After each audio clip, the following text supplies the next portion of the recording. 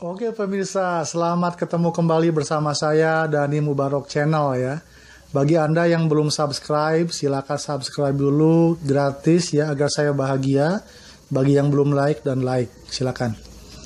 Pada malam hari ini kita ketemu kembali dan malam hari ini saya akan coba memberikan informasi kepada kalian mengenai ide usaha ya. Karena banyak di antara kita yang sudah punya pekerjaan dan ingin menambah usaha sampingan. Atau bagi mereka yang masih nganggur ya, tidak punya pekerjaan atau bingung buat saudaranya pekerjaannya apa, ini adalah ide usaha bagi kalian. Mudah-mudahan ada manfaatnya dan ini hanya sebagai sharing informasi. Saya bukan ahli usaha, tapi saya berpengalaman. Insya Allah akan saya berikan semua pengetahuan saya tentang dunia usaha. Oke, okay? tetap di channel saya. Baik pemirsa inilah salah satu contoh ide usaha dengan cara menjual buah-buahan di dalam mobil ya. Ini bisa mobile, kita bisa ke mana-mana mencari konsumen masuk ke perumahan dan sebagainya.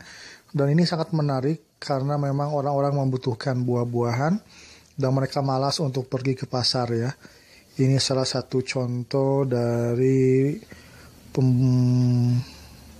bisnis dengan menggunakan mobil bak terbuka. Bisa buah-buahan atau bahkan kita bisa jualan yang lain. Tapi fokus pada hal ini kita ke buah-buahan. Untungnya lumayan 40% dari buah. Tetapi kelemahannya yaitu tadi kita harus bisa mengatasi bagaimana supaya tidak terlalu lama busuk ya. Dan kemudian juga musiman buah-buahan ini. Tapi recommended lah bagi kalian. Oke, silahkan dicoba. Baik pemirsa inilah salah satu contoh. Oke pemirsa, kita akan berbagi bagaimana usaha. Baik, ide mencari usaha bagi kalian yang pertama adalah yang bisa dilakukan mungkin adalah jualan buah-buahan. Yes, jualan buah-buahan ya. Oke, masyarakat kita pada hari ini sangat begitu pintar. Dia membutuhkan dan begitu cerdas mengetahui tentang pentingnya buah-buahan. Artinya, kita masih terbuka lebar untuk menjual buah-buahan. Baik, bagaimana Pak cara menjualnya?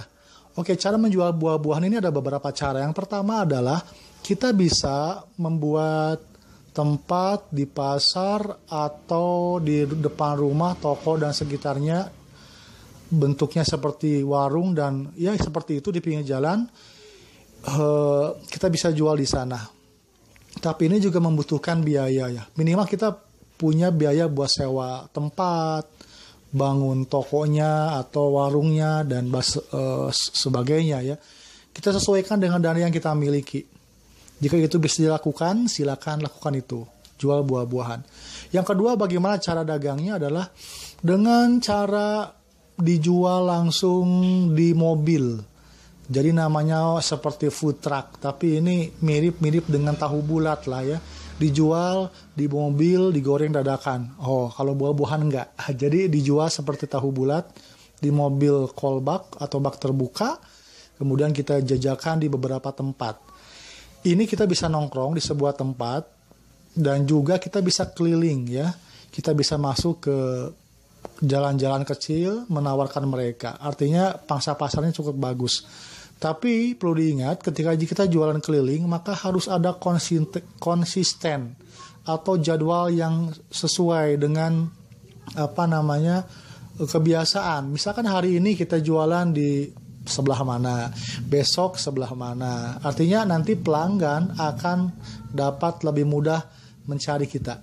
Oke, kemudian yang ketiga cara berjualan ini adalah dengan cara online. Jadi kita bisa pasarkan, iklankan di media sosial, kemudian ada yang pesan kita antar ya dengan Gojek dan sebagainya.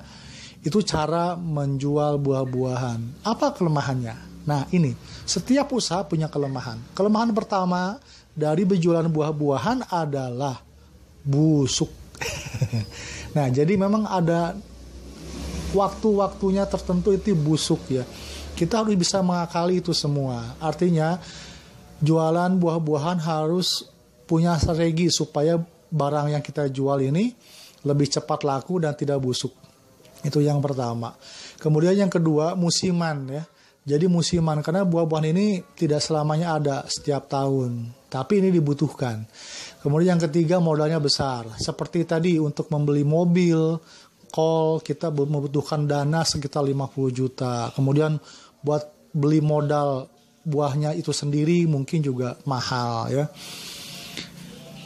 Itu uh, ketiga yang perlu kita pikirkan. Kemudian bagaimana uh, bosku untuk keuntungannya. Ya, oke, keuntungan dari menjual buah-buahan itu bisa dikategorikan 40% dari modal. Artinya misalkan begini ya, 10.000 harganya kita bisa 10.000 kita beli dari uh, sumbernya atau dari grosirnya buah-buahan dari kebun kita bisa jual 20.000 sampai 15.000. Artinya keuntungannya cukup lumayan.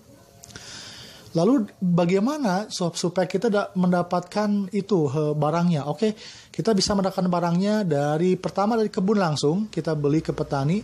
Yang kedua kita beli ke bandar, tapi harganya cukup lumayan, tapi nggak apa-apa. Lebih mudah lagi ke bandar ya. Dan silakan kalian bisa jual itu semua. Ini mungkin hanya sebagai ide dan inilah cuplikan untuk uh, jualan buah-buahan. Oke, okay, check it out.